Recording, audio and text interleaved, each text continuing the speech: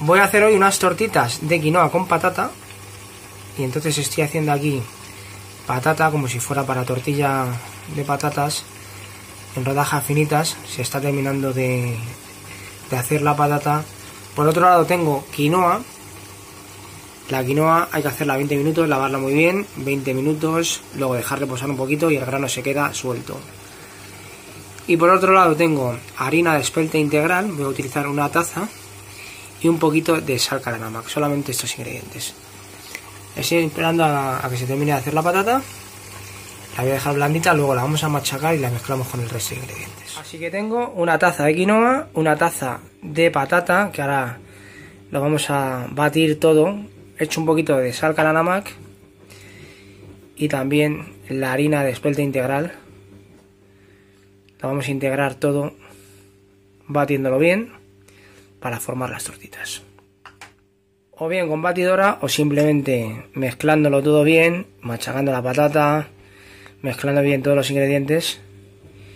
De las dos maneras lo podemos hacer. Una vez mezclado todo nos tiene que quedar una textura pegajosa que podamos agarrar con las manos y darle forma. Algo así.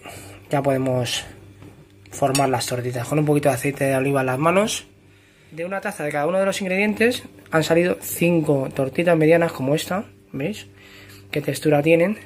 La vamos a poner a la plancha, un chorrito de aceite de oliva y vamos a poner las tortitas con un poquito de sal y se van a cocinar durante 3-4 minutos por cada lado a fuego medio.